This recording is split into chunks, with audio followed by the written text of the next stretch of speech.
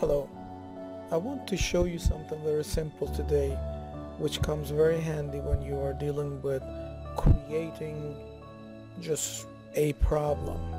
Um, instead of trying to go randomly and try to figure out whether a problem that you're creating um, is feasible or has any feasible solution and how its uh, final outcome looks we can just simply use uh, an Excel data sheet and uh, let the Excel do the calculation and we will come up with a problem which is feasible and um, hopefully has nice solution as well.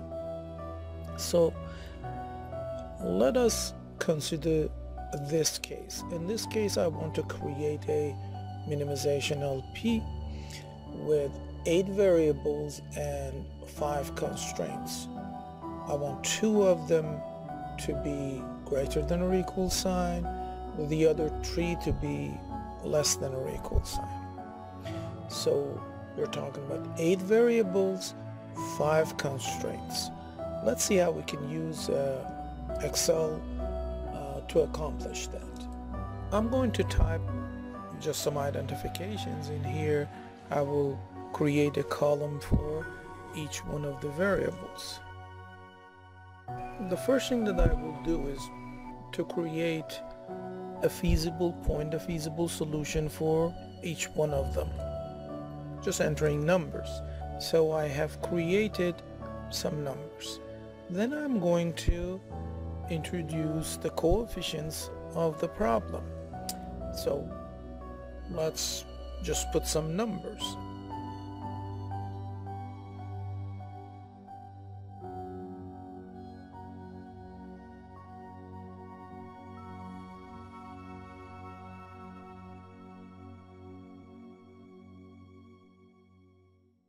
Now let's find what the result of this will be if I multiply each row of these problem by my solution that I have set up for myself.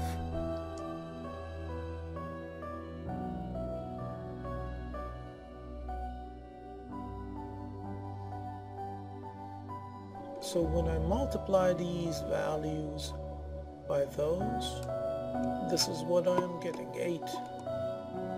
Now, before dragging this value down, I need to make sure that these numbers remain fixed because as I drag this value down, see what happens.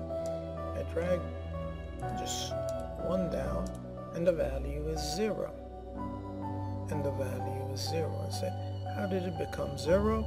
If I click on that, it will show me that it is multiplying these numbers by this row. So it actually moved it one row down. That's not what I want to happen. And the reason that it moved down, I did want it to move down here, but I didn't want to move down there. So I need to fix those numbers. And to fix them, to fix that A2 in this formula, I have to put a dollar sign in front of the 2 and a dollar sign in front of B2 in front of the 2 of the B2 and a dollar sign in front of the 2 of C2 and so on. Of course for the first one it is still the same thing but if we drag them down these numbers are the values that are in there. Now if I click on 18 for example in here and look at that you would see that it is multiplying this row by the same row. If I click on next one I would get uh, basically the same result. This row, the new row times by that fixed row. So these are the values, the numbers that I get in here, 9, 18, 23, and 13. So if I want to create a problem that would have two greater than sign and three less than or equal sign. Guess what? I can create that in here and I can say um, greater than or equal and it has to be greater than the, the value the actual value for that solution is 9 the actual value of this equation based on these numbers is 9 so how do I make it greater than or equal? Well I'll put a smaller number in here. And if I want to make that greater than or equal I know the answer is 18 so I will again put a smaller number in here. Let me just put 16 in here.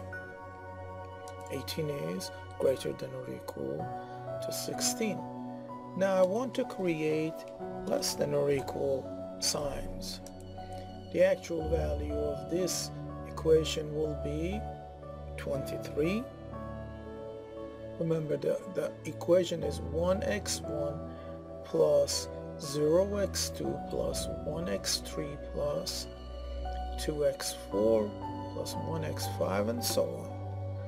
So if I want it to be less than or equal sign, I know the actual value is going to be 23 and I want this equation to be such that it is less than or equal a number. So I have to put a number which is larger than 23. Um, I can put 25 in here. Same for here, less than or equal. Can put 15 in here, less than or equal. I can put, well, another 15 there. Now if I use if I use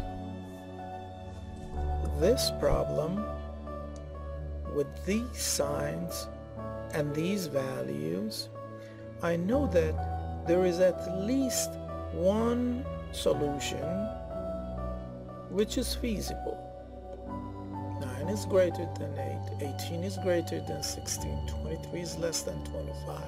11 is less than 15 and 13 is less than 15 so let's put this problem into Lindo and see what solutions we get so here's the problem that I put in Lindo and I created a arbitrary maximization problem objective function but the rest of the constraints are the same constraints that we talked about. If we solve this problem, let's see what happens. Oh, I got a optimal solution. We can easily set up this problem and based on what we get from the problem, we can go ahead and solve it. I'm sure that this problem will have a solution because I did start with a feasible solution. That's it. Try it.